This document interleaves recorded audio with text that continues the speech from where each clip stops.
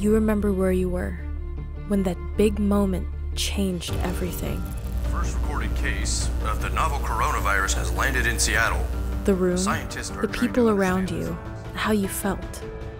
When the news hit that the novel coronavirus was rapidly spreading across the globe, research teams all over the country quickly mobilized. Every scientist and researcher would have the same ticking clock, but different approaches to solving one of the biggest health crises of our lifetime. Join the Golden Goose Awards in recognizing these extraordinary efforts.